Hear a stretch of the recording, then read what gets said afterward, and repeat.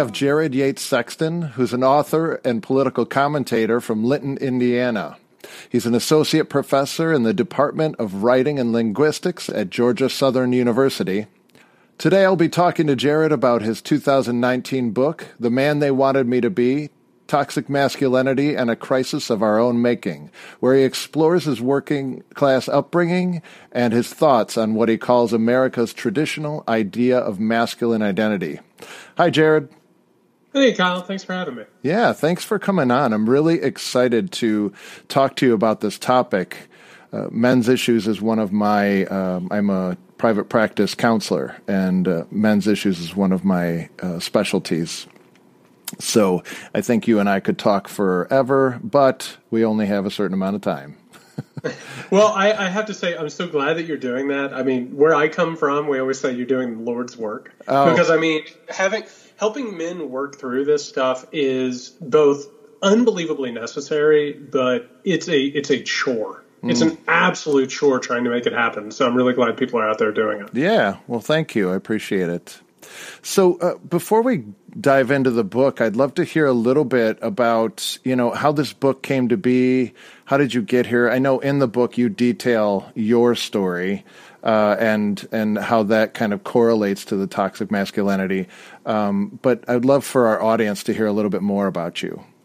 Yeah, sure. Um, so I I sort of cut my teeth covering the 2016 presidential election, and I, I, you might remember I was like one of the people who was like sneaking into Trump rallies and talking yes. to the supporters and stuff. And in the midst of, of covering uh, the Trump phenomenon, what I started to come face to face with, um, you know, particularly because of the Access Hollywood tape and, you know, the, mm-hmm. the so called locker room talk that we don't have to get into, um, I started to realize that there was a problem within America with not just toxic masculinity, but masculinity in general. That there, that, that there was something underneath the surface that we have not been dealing with that has mm-hmm. now sort of metastasized in culture. And you now see it in things like, you know, extremist groups. You see it with incels. You see it with the alt right. You see it with all of these different groups. But you also see a lot of men are, are living shorter lives. A lot of men are killing themselves. A lot of men are suffering from addictions and, you know, these debilitating um, you know, diseases that could be prevented or could be treated. And I wanted to write about that, but I also needed to do something else, which was to talk about my own story. Mm. I grew up in a really, really poor, dysfunctional family where there was a lot of, of abuse and a lot of toxic masculinity. And I barely survived that myself. But what I found later on in my life is that what I had experienced there actually rubbed off on me and it caused my own mental health issues and my own personal crises. And so I wanted to write a book that talked about what I had gone through, what I had learned, but also to sort of deal with what our culture is going through at the moment. Hmm. Yeah, and it's and I, I want to say it's I found it to be really really powerful when I was reading the book uh, you know, it, there was a lot that I resonated with. Um, and so, was it was it the going to the Trump rallies? Is that kind of what exposed you to your own the masculinity that you felt like you were kind of caught in, or where when did that happen for you? Well, you know, it, it, it's weird because there, there's a lot of different things that had occurred there. So, like, I actually thought that my whole sort of experience with masculinity and toxic masculinity was sort of left behind. So, I write in the book that my, my father died at the age of 56, a really from a from diabetes and these chronic illnesses that should have been taken care of. And I had watched my own dad go through a transformation. I mean, my dad was, um, you know, he was the hard Marine. He he he, mm-hmm. he was mm-hmm. very stoic and, and aggressive and at times abusive with his family. And I had always thought that there was something wrong with me because I was like a sensitive kid, right? Mm-hmm. And you know that sensitivity was met with physical, verbal, and emotional abuse at all turns by men who wanted me to be tougher, they wanted me to be more masculine or whatever. And what I ended up learning from my interactions with my dad, Uh, particularly later on in his life, was that he had been like that as well. And he had had that beaten out of him and yelled out of him and abused out of him.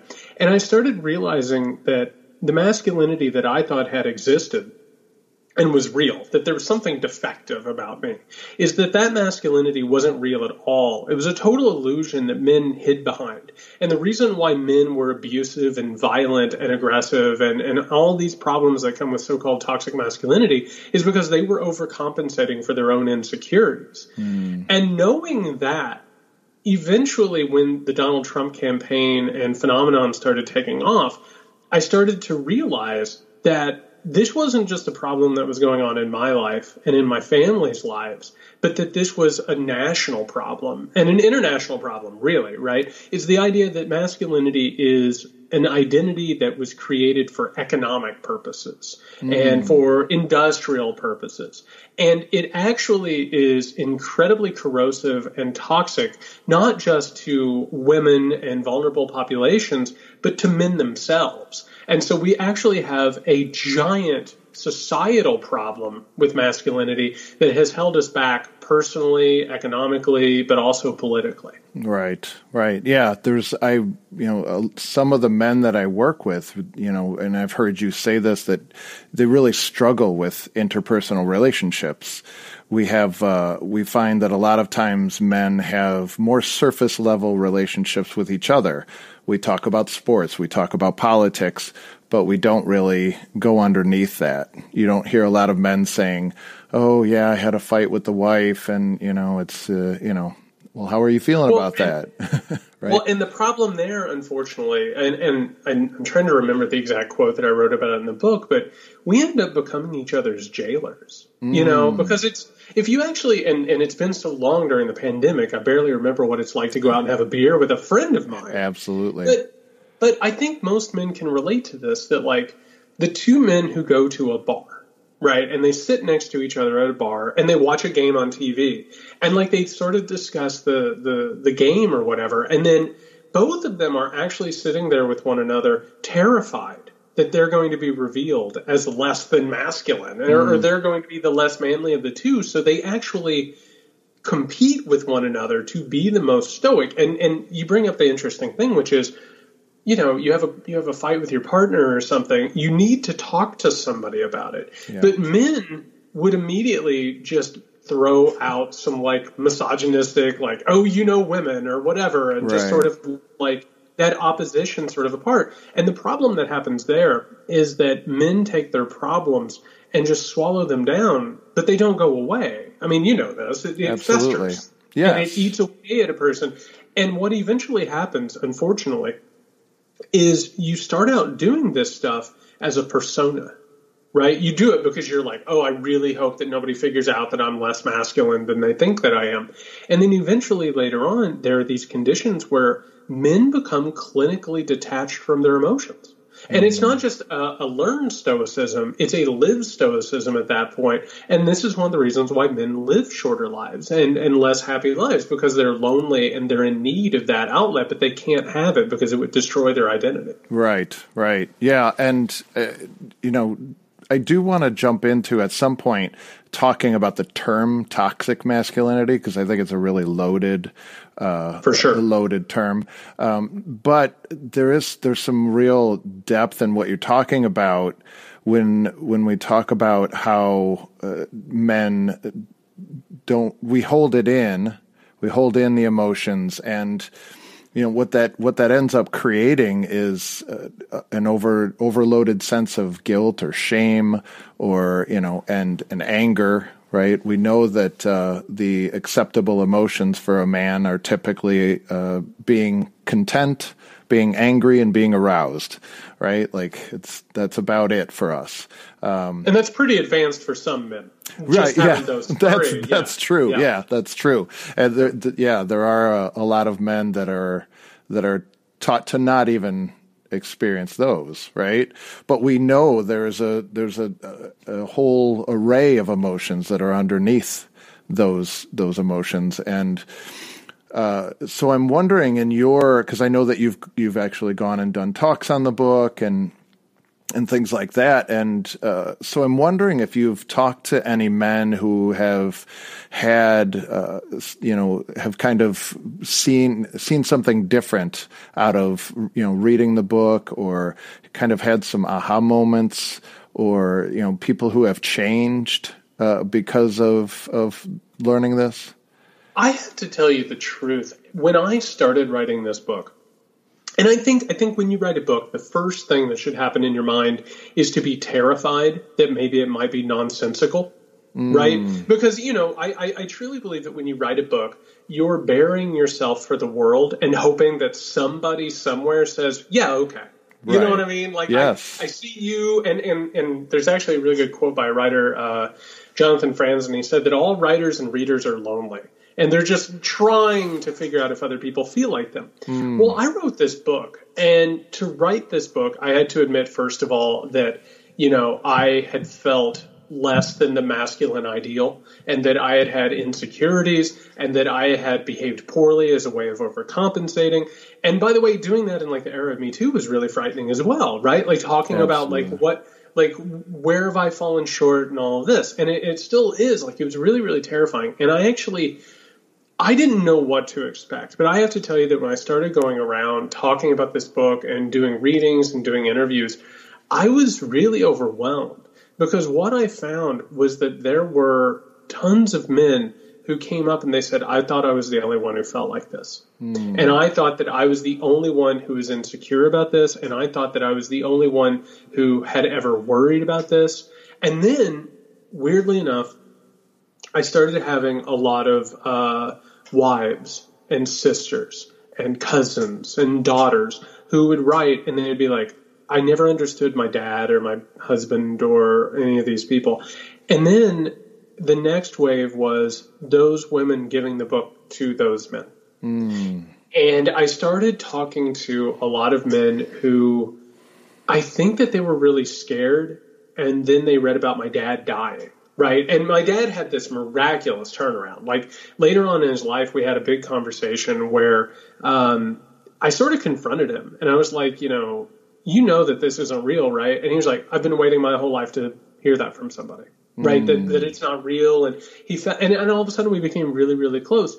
And I think when men, particularly who were in their middle ages or so, you know, a little bit older, they read about that they started reaching out to me and then I started forming these really good relationships with a bunch of men who had not realized that they had been problematic or they didn't realize there was another way to be. So I started out really terrified that it would be, you know, it would basically just land with a giant resounding thud that no one would be interested in. And it turns out that there were tons of men out there who uh, who were similarly lonely. So mm. I, I it was rewarding in that, but I have to tell you, it was this was an exhausting project to carry out and to put into the world. I can imagine. It is really vulnerable to tell your story like that, and you do go into detail in in your book about some of the you know some of the things that you did, you know that that kind of participated in that uh, toxic masculinity that that we talk about right? And your journey through it. That's that's very vulnerable and powerful. And i and so it doesn't surprise me that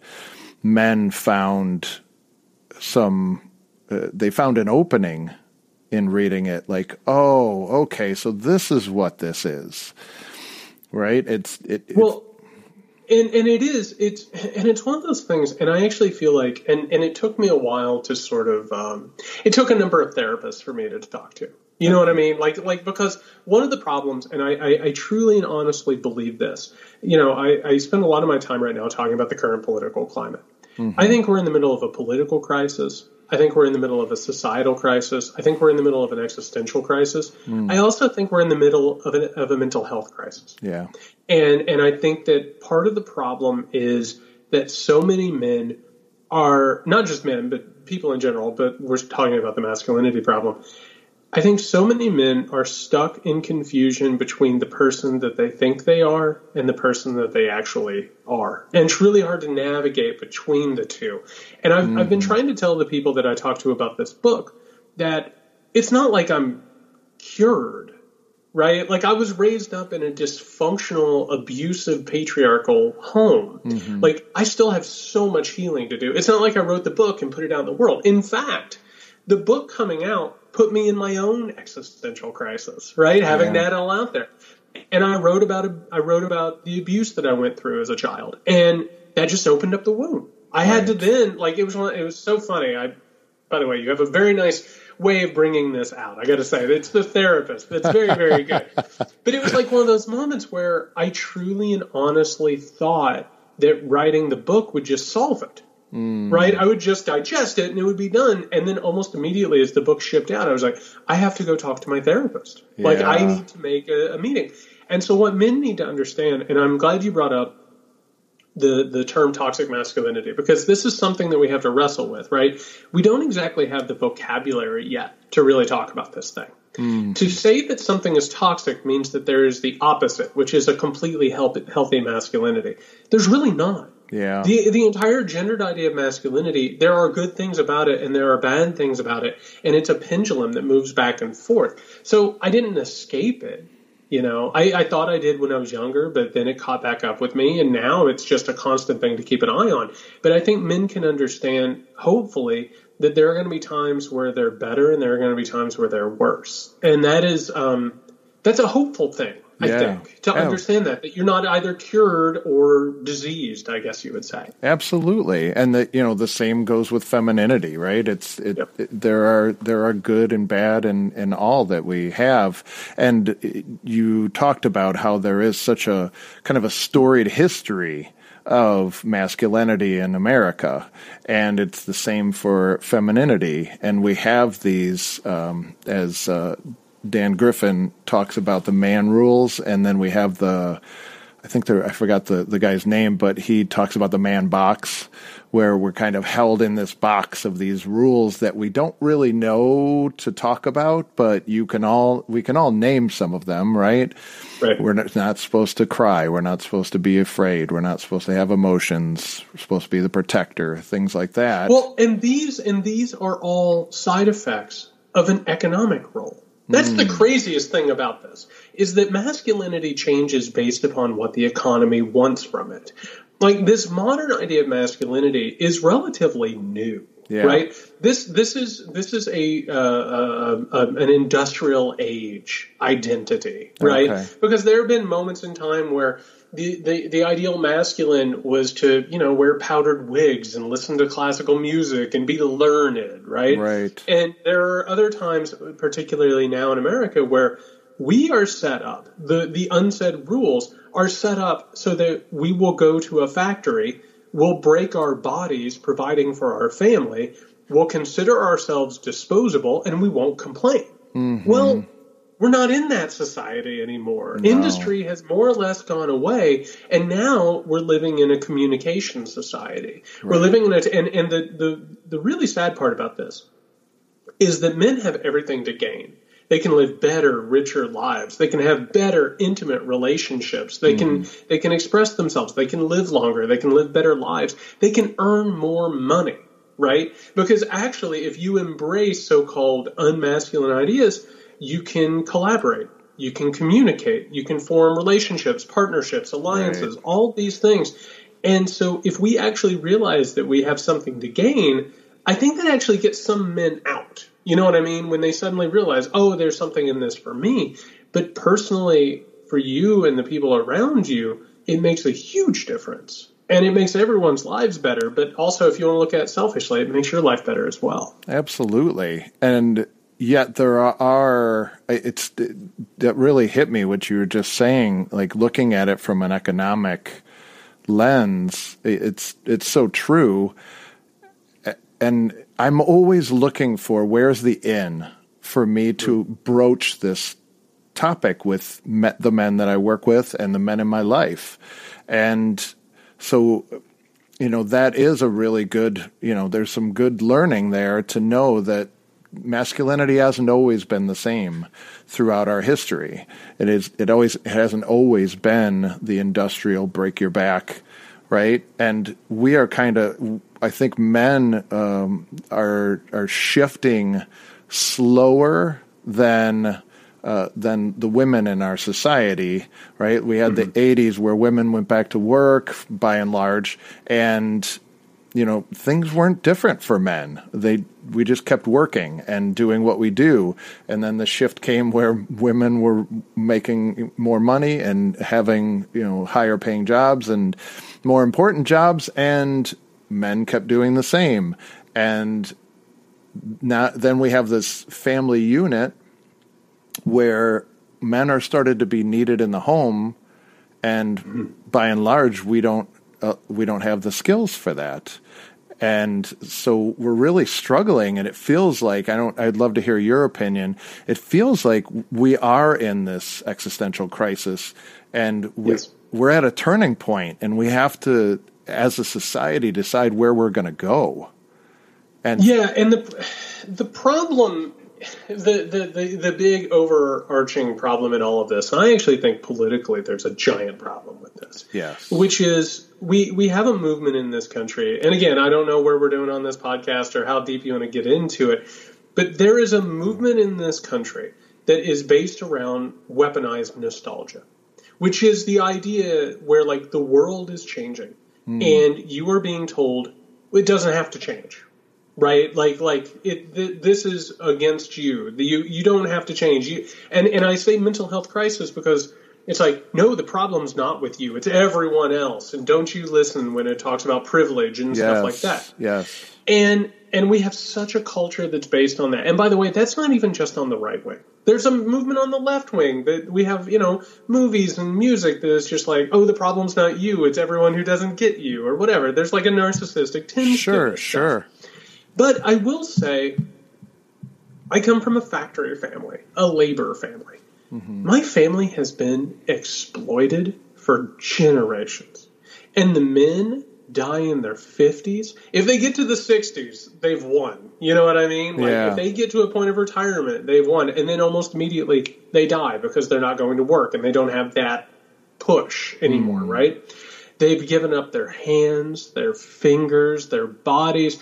You know, my stepdad, I love my stepdad to death. He can barely get up in the morning. You know what I mean? And, yeah. and I talk to people all the time where, you know, their labor defines them. Like they, they, they're like, you know, maybe I don't like this job, but I'm a, I'm a coal miner, you know, mm-hmm. I'm a, I'm a factory worker or whatever. Well, you don't have to define yourself based on all of that. You can define yourself based on, am I a good partner? Am I a good father? Am I a good brother? A good son? You know, and and I think that once we start to realize that there's something beyond the self-sacrifice, because I'll tell you, and I don't know if you've run across men like this. It breaks my heart. They'll make comments all the time, Kyle, and they're like, you know, when I die, just throw me in a hole. Don't even worry about it. Yeah and because that's all they see of themselves. They're literally just their bodies to go out and, and do labor. And that is just and they know deep down how supremely sad that is but they push it down. Yeah. and unfortunately we live in a society now where people have realized that they can gain political power and economic purchase by selling that fantasy that no, you really do love that job. You love going in the coal mine and getting black lung and dying at like 42, right? Yeah. Oh no, that's what real men are, and we're bringing back the factories and the coal, and they're not. Right. Those things aren't coming back. Yeah. And what's more, you want to talk. And I, I made this argument in the book. If men want to define themselves as protectors, well, okay, so you're working in a coal mine, you're adding to things like climate change and climate crisis you're not protecting your grandkids. You're not protecting your great grandkids. You're not protecting anybody, right? And then all of a sudden it's like, oh, is your idea of self more important than protecting other people? And I think sometimes that short circuits the idea, mm. right? Like, oh, so you're protecting your your wife or your family. When's the last time you talked to them? Right. right. Are you making sure that everything's okay? Because it doesn't seem like you're protecting them. And it's it's those it, it, it's those hypocrisies and contradictions of masculinity that undo it because it's very fragile. There's mm-hmm. a reason why men get violent about masculinity, why they get angry about masculinity, and why they overcompensate. And that's because the whole thing is a very, very brittle stack of cards. It falls very easily. Yeah, yeah. And you know, it's as you were saying that, what what came to mind for me is, you know, I've talked to to men, and when when the when the topic comes about, it people get engaged in it, and it just has to be addressed. It has to be opened up in a way that is not like you know attacking someone, and I think that's why the the the term toxic masculinity really kind of I struggle with it to be honest. I think it's a, a very incendiary term and you know I, I i tend to use traditional masculinity rather and i don't even know if that's accurate but it feels more you know like the john wayne and the you know um, well and and by the way it's so funny you bring up john wayne. John wayne was a total fraud. I mean like it was a he was a totally like created personality. Right. and and and actually weirdly enough, if you look at the history of John Wayne, he was actually like abused on the set of his movies by directors. I mean, it, it's oh. it's it's oh. really kind of a shocking thing when you look at it. And and and here's the thing that I always end up dealing with. People say to me, they're like, you know, when this book came out, they're like, "Oh, you're trying to get rid of masculinity." It's like, look at me. I'm I'm a white dude with a beard. I'm wearing jeans and boots right now. You right. know, if it if the temperature was three degrees cooler, I would have a flannel on. Like this is, you know, I I, I I I express myself outwardly in a masculine way. That's how I live life. I'm not trying to get rid of the idea of masculinity. I want to open the door to where men can express themselves however they want and realize that other people doing different doesn't hurt them. Yeah. So it's it's a really hard thing. The toxic masculinity label. And when I started writing this book a few years ago, I started writing this um, at the end of 2016, going into 2017, we really didn't have any other words for it. You know what I mean? Like, right. I and we still kind of don't because, unfortunately, our culture for the longest time has just taken gender as being something beyond, you know, investigation. Like we now have a situation, and I wrote at the end of the book. I've been teaching uh, at the college level for, oh my god, 15 years. Wow. Okay. I felt very old. So I've been, I've, I've been, teaching college for 15 years. Um, I didn't have my first transgender student until about five or six years into that, mm. and now it's nothing. Do you know what I mean? It's just gender is now, especially at an academic level, it's just it's a fluid concept. Right. People can come in one day expressing one gender, come in another expressing another. I mean, my God, who knows how many genders there are at this point? Right that when it first happened to me, I was like, "Oh my god, what is going on? Like, what what is happening with society? Maybe we're in trouble." And now I'm like, "Oh my god, the freedom is incredible." Yeah. Like, it, it, like so. I think that we, in some places, we investigate this stuff, and in other places, we just really don't want to talk about it or investigate it. So we need a better vocabulary, we need a better language, and we need a better way of opening doors where it's not a political trench warfare situation. Right. Because because I'll say this: we we've been talking a lot, but we haven't talked yet about how to make inroads.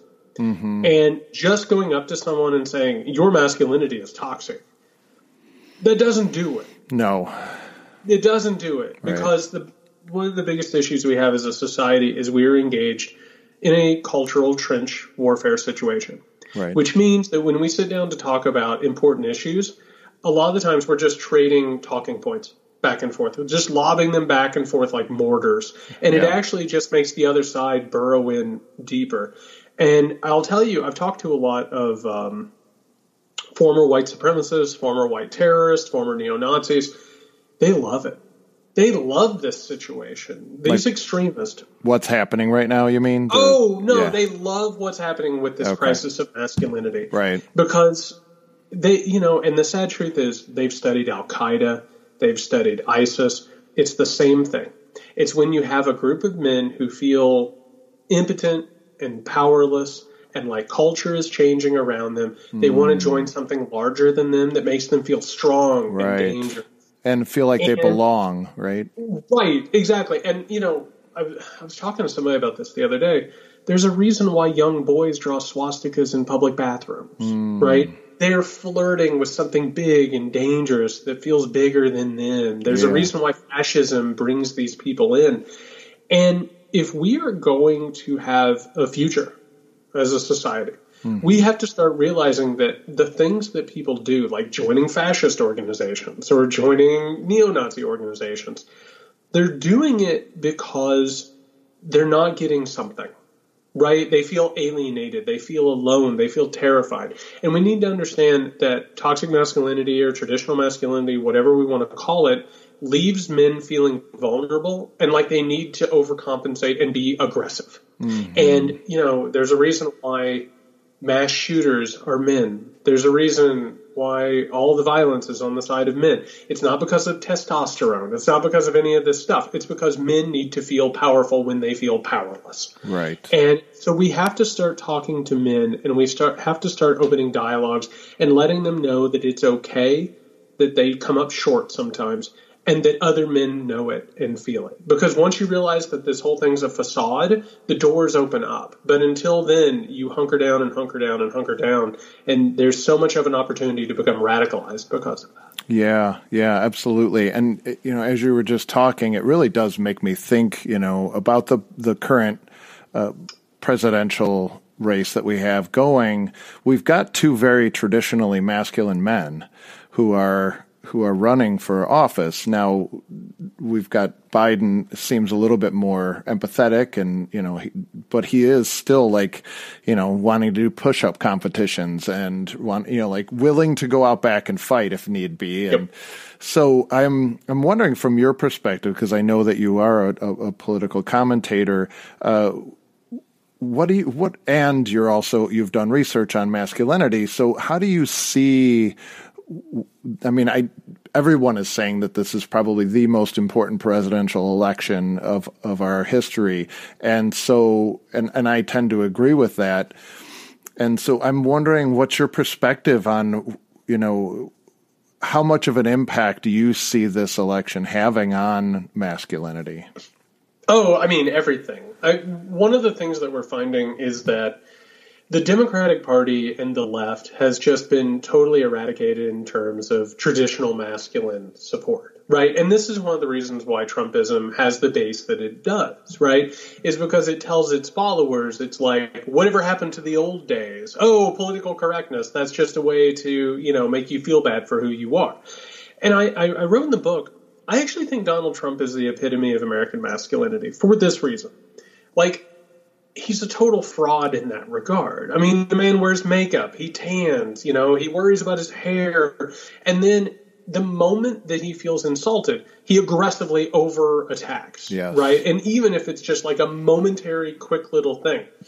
And I, I, I, said this also in the book. I think that most of us who have been around these men recognize this. Mm-hmm. It's like it's when you're at Christmas and um, um, a family member, a man, is like talking about how many women he's, you know, been with and how much money he has and how people respect him. And he's just boasting and boasting and boasting. And then he leaves the room and all of the women in the room are like, I feel so bad for him. I just mm-hmm. I wish that he could find what he's looking for. That's who Donald Trump is. Mm-hmm. He's actually a really sad human being, right? He has everything in the world that you could possibly ever ask for except for what he needs. Right. Right. And I actually I, I wrote about this also in the book too, which is or maybe it was the book before it. Like it wasn't enough to tell everyone, oh, the language he uses. Because there are a bunch of women whose sons talk like Donald Trump and a bunch of wives who are married to people like Donald Trump yeah. and they love them despite their flaws. Right. But but we actually have a group of people who in this country because of Trumpism they're like, "Yeah, I'm aggressive. F you." Right? Like I'm a Trump person. Is that a problem? Right? Like right. or are you going to cry for me or are you going to be a snowflake or whatever? And meanwhile, they're like, "Oh, does that trigger you?" And it's like everything triggers them Mm-hmm. Right? Like they're they're they're terrified yes. and they're insecure and they're hoarding weapons and they're talking about taking over the government and, and all of this stuff. And it's actually and this was one of the craziest things that I didn't know until I started this book, which is again, fascism, authoritarianism, they come off as being strong. They're weakness. Mm-hmm. It's being afraid and right. being so afraid that you are going to overreact. So I actually think that is one of the great untalked about parts about all of this is we're missing the crisis of masculinity. And because we're missing that, we're missing out on like one of the main ingredients for why this thing is taking place. hmm Yeah, there is, and it it it is this battle for power right? And the the feeling of power. And we know that when you're when you're experiencing when you're feeling down or you're feeling guilt or shame you you need to a lot of people, your antidote for that is to feel powerful, which is the anger and the and the the rage and you know belittling someone else. So instead of feeling it yourself and thinking, mm, "I'm not so I'm not feeling so good about myself right now," I'm going to turn it on you and tell you how much it's your fault and and that's exactly. And by the way, speaking as somebody who has fallen into this stuff, mm-hmm. right? And maybe there are some men listening to this who have suffered or dealt with this. Like, and again, I, am more than willing to talk about my stuff in order to try and open up and talk sure. and have dialogues with people. And by the way, if anybody listens listens to this and they want to have a conversation about it, email me. I'm at jysexton at gmail.com. I'm more than happy to have these conversations. Great. Men who are in situations where like the only way they know how to communicate is to like yell at people, right? Or they'll have a big blowout fight with their partner. They know in the middle of it that they're behaving badly. Mm. They know it and there's a guilt to it. And in the middle of it you're like, "Oh my god, this is terrible." Oh, and then you just double down. And and it just goes and goes and goes. The shame breeds more of it and men know it as they do it. And that's the sad truth mm. is there's so much guilt and and and um, self-harm and trauma involved in this whole thing that it just it continues to escalate. It's a terrible terrible cycle. Right. And if you don't take the time to work through it and to actually i think the big thing is to own it because yep. just like you said, I mean, I don't know a man who doesn't behave in some of these ways or hasn't behaved in some of these ways. It's part of being a man, right? It's part of you know, uh, you know, being a part of our society. We're we're, I, I guess I shouldn't say for everyone, but you know, for the most part, we all are a part of this. It's hard to be a man in this country. Yeah. And and, and I say that, and, and that that sounds almost like men's rights sort of talk.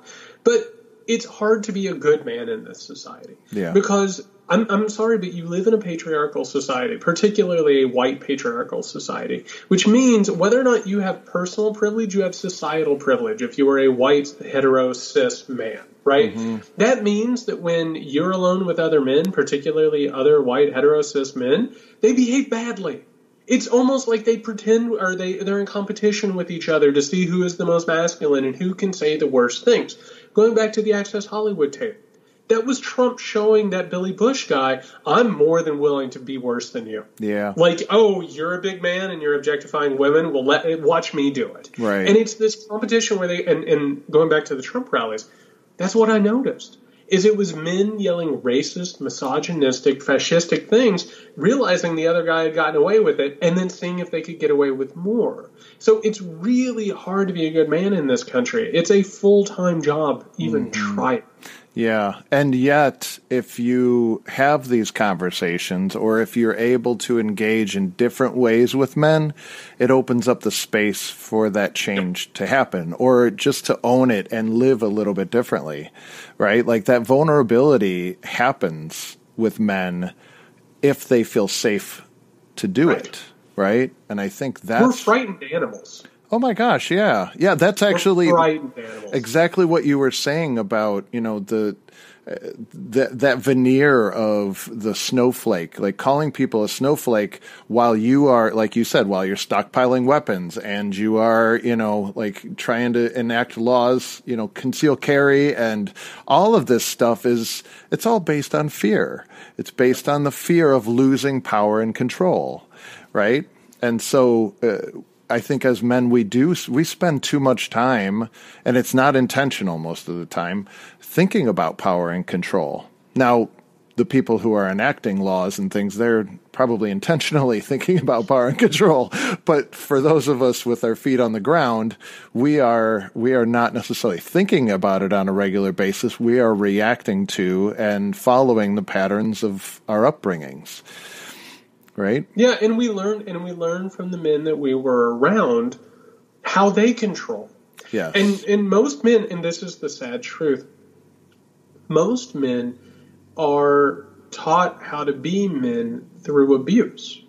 Mm. Right there, it's it, and it's verbal abuse and emotional abuse and physical yeah. abuse. Don't cry, I'll give you something to cry about. Right, being yanked around, the the the stoic nature of like having.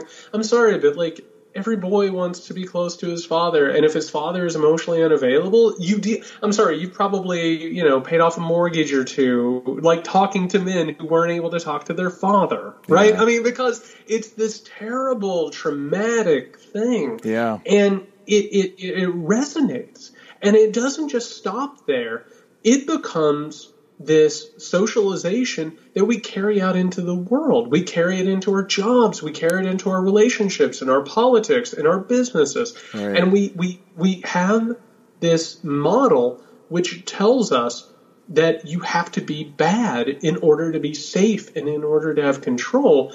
And that it's a trauma. It's an absolute trauma that that you have to work through for the rest of your life to try and shed. Yeah, absolutely. And it's so deeply ingrained in our society that you will find people who are just resistant to it and i think that is the the the when you hear about terms like toxic masculinity if you're not open and curious about it that that uh, that pushing back or the defensiveness is a fear of what am I going to open up here, right? And you even said in your book, people who support Trump, it's because they see themselves in him, and they would be going against themselves.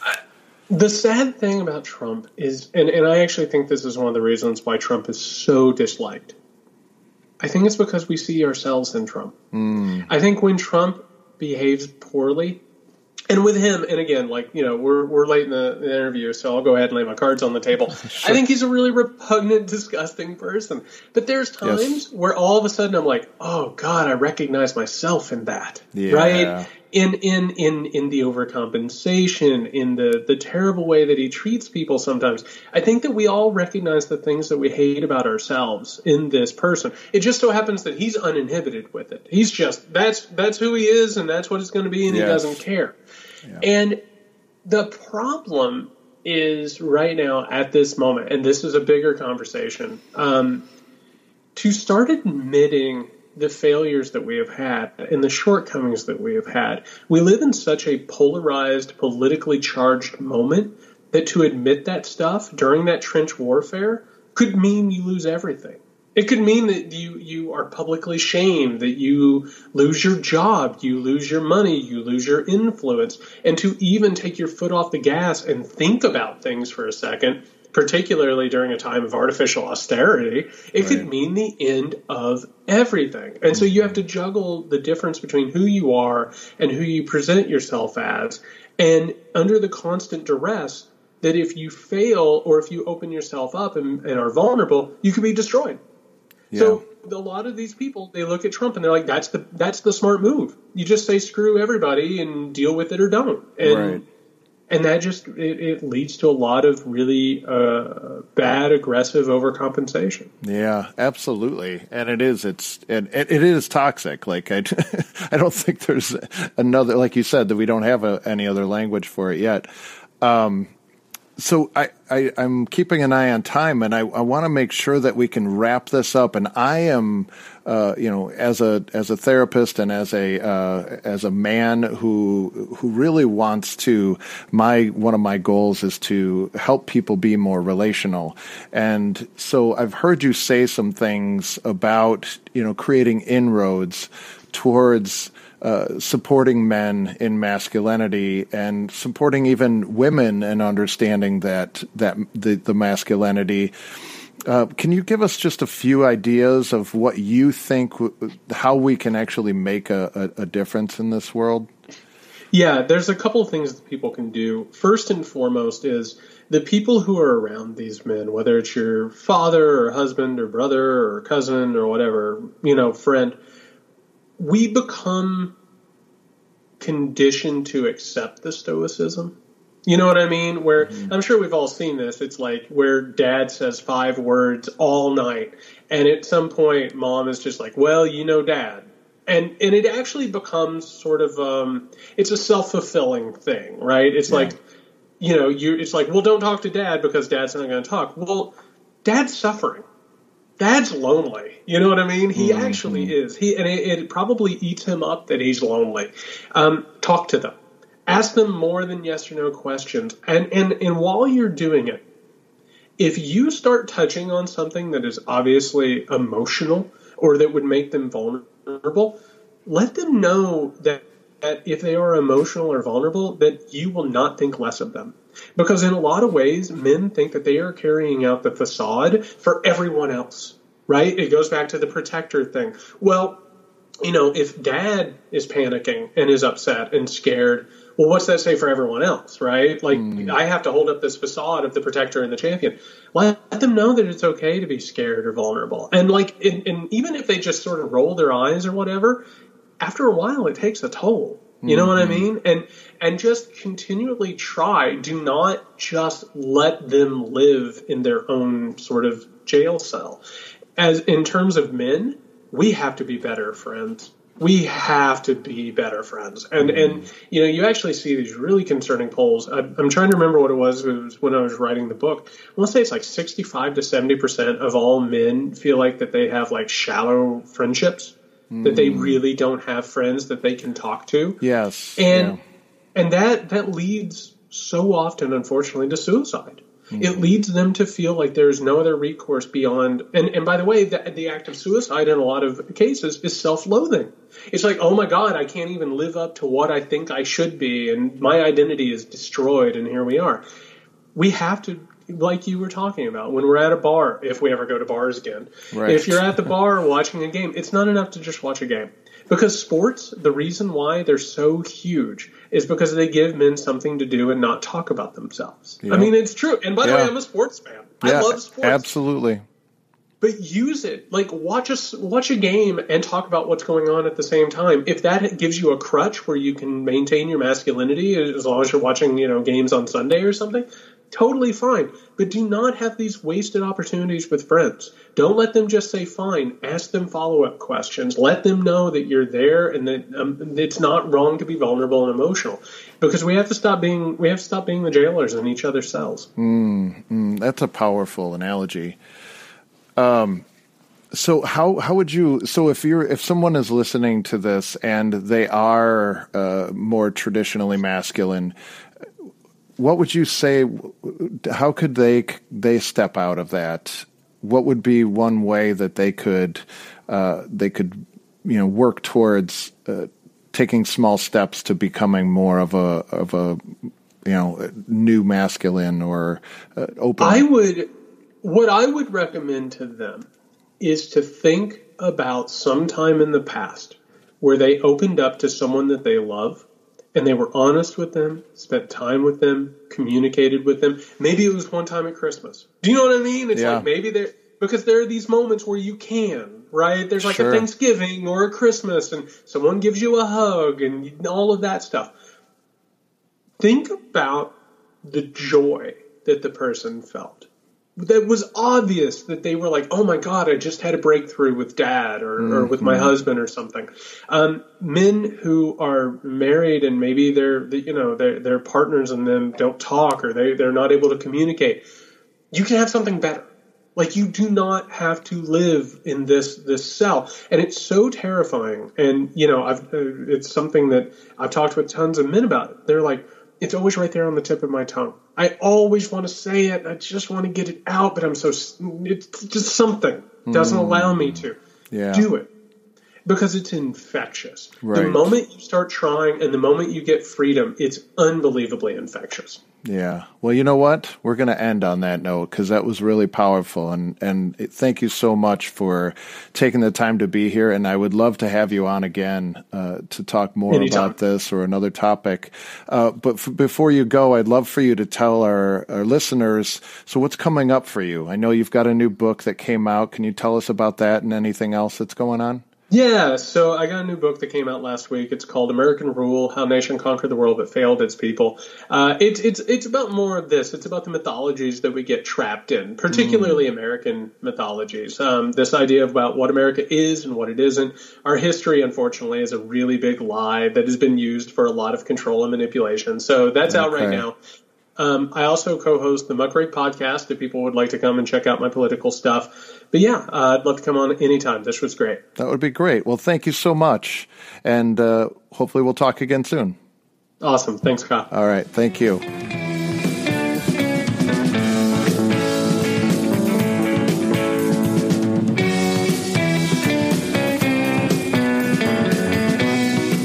Thank you for listening. Please take a moment to leave us a good review and subscribe on Spreaker, Apple Podcasts, or wherever you listen. This podcast is for entertainment and informative purposes only. If you need a mental health professional, please seek one out. We hope you enjoyed today's show. All material copyrighted by the Psychology Talk podcast. Music provided by the band Serenati.